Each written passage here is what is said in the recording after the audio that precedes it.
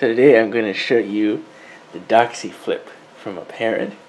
Now, in the mobile world of stuff, we usually have mobile printers that we use more often, but on occasion we might want to have a mobile scanner. And this is an interesting take on it because this is a flatbed scanner. Most of the ones that we find are actually just normal little sheet feed things, but no, this is actually a flatbed.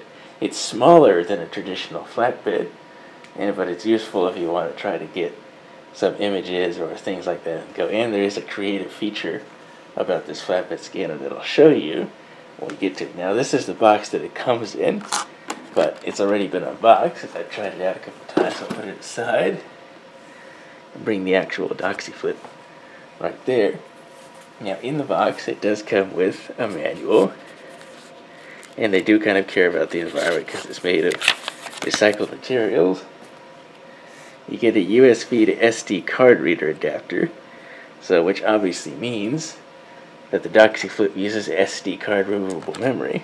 The slot's right on the side here, and they supply a 4 gigabyte SD card, and that's good for holding about 2,000 images, depending on the scanner resolution that you choose to use. And it does come with four AA batteries pre-installed, so that's what provides you the portable power to operate it. You can use rechargeables in it. They say you will use rechargeables if you want to. And according to people, it's probably a good idea because they say the scanner will go through the batteries, especially if you use it a lot. So that's something to keep in mind. Now, looking at the Doxie Flip itself, again, it's smaller than a traditional flatbed. We open it up, and then there's your scanner bed and you got the cover here. And again you can see through there to the other side. And again that's one of the special features. We'll look at that.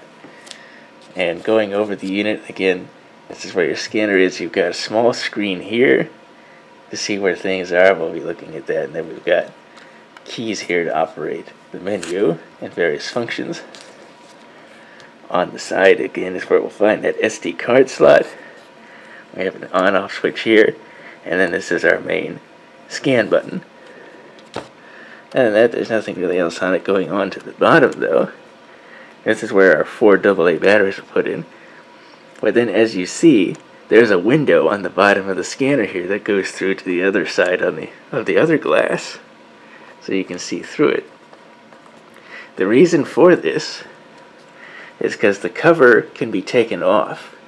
You can take off the cover and put this on an object that you want to scan, maybe it's a book or something, or maybe even something on a wall, you can scan it holding it up to it and just take the cover off and you look through there to line it up.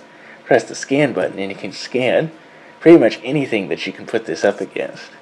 So that's the unique feature about the Doxie Flip. It's powered on. There's a side here. Push up till it comes on.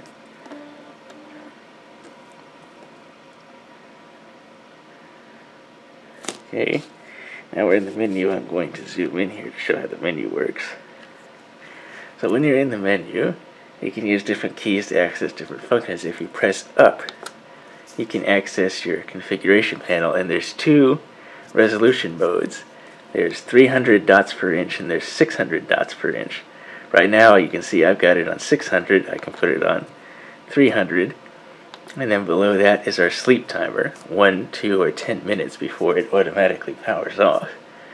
Now, being that there's only two scan resolutions, you know, a higher resolution takes longer and it takes more disk space, but it gives you a higher quality image, and then conversely, it's true for 300, less disk space, faster, but less quality. Now, if you're scanning a lot of text, you're probably okay with 300 dpi. If you're scanning a lot of images, you probably want to use 600. And pressing all the way back up will get you out of the menu, but also if you go to the menu and then over one, you can access a small help section.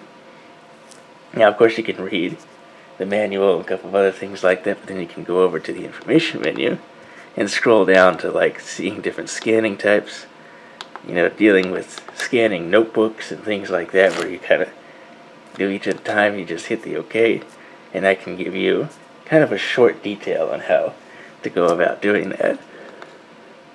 Because the DoxieFlip software that you can download on your computer will allow you to stitch images together as you scan multiple pages like out of a book or something. So if it doesn't all fit on the scanner bed, you can scan sections in the software, will stitch it all together for you. Let me zoom out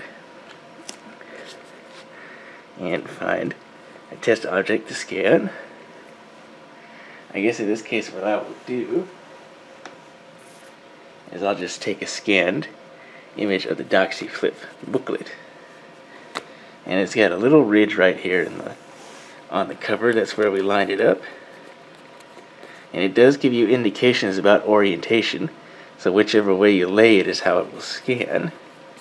So since I'm laying it lengthwise, I'm doing it that way. that. Put our cover down. Because actually I popped it out. Which is there. Down. And all we do is just simply hit the scan button on the side. Now it's scanning it at 600 dpi. And we can see the live preview as it's scanning.